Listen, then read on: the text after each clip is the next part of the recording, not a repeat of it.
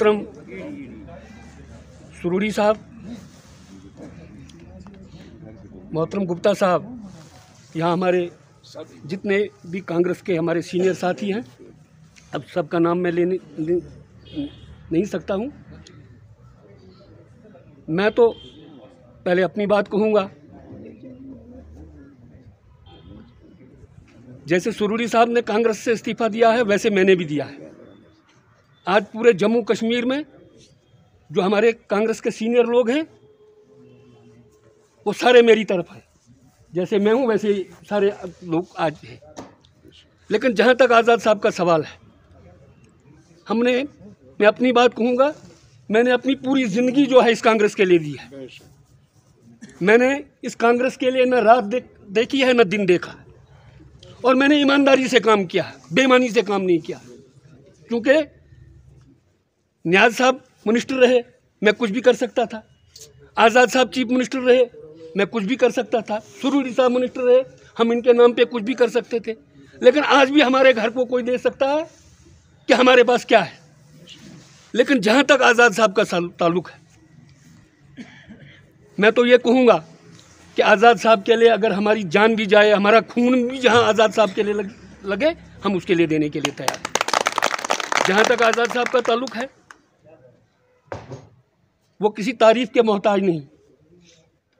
आज़ाद साहब फ़ख्र हिंद रहे, national leader रहे, जम्मू कश्मीर के चीफ मिनिस्टर रहे तो जो गुलाम नबी आज़ाद साहब ने पूरे मुल्क में किया है, आज यहाँ कुछ लोग दावा करते हैं कि ये सब हमने बनाया। लेकिन मैं तो ये कहूँगा कि उन लोगों को शर्म होनी चाहिए कि गुलाम नबी आज़ाद साहब लोग अभी सोए होते थे, वो यूनिवर्सिटी को देखने के लिए आते थे। लोग अभी सोए होते थे, वो हॉस्पिटल की बिल्डिंग को चेक करने के लिए आते थे। और वो अफसर्स को ये बताते थे, पूछते थे कि तुम्हारे अस्पताल में कितने मजदूर लगे हैं? वो कहते थे, डेढ़ सौ लगे हैं। वो कहता, डेढ़ सौ नहीं, यहाँ तीस मजदूर मैंने देखे। जहाज़ से गिनती करता था कि कितने लोग लगे हैं। और आज यहाँ लोग दावा करें कि ये काम हमने किया। मुझे ये लोग बताएँ।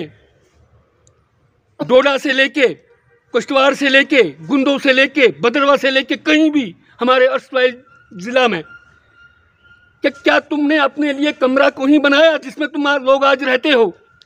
कम्युनिटी हॉल में आपने जाना है।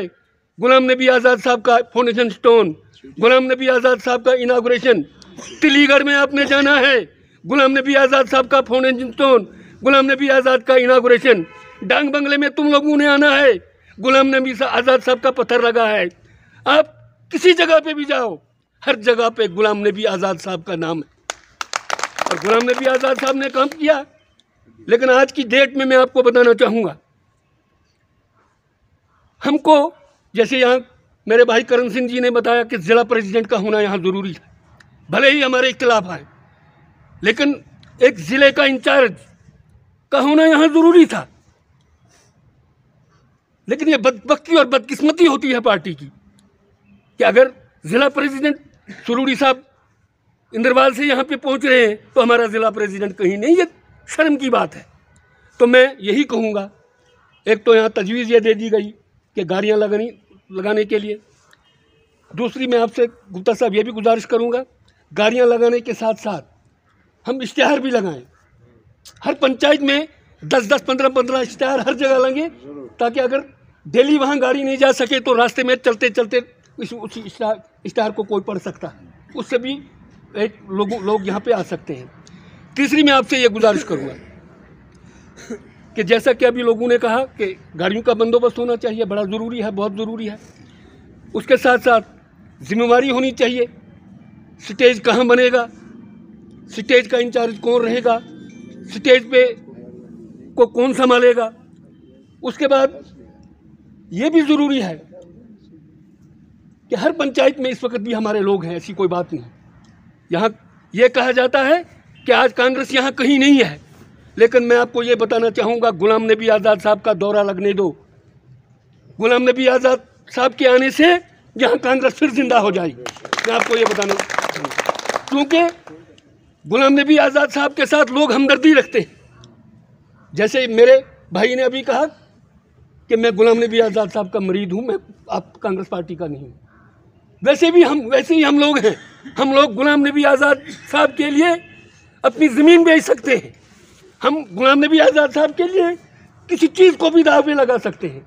क्योंकि गुलाम नबी आज़ाद साहब के साथ हमें प्यार है, हमें हमदर्दी है, हमें मोहब्बत है।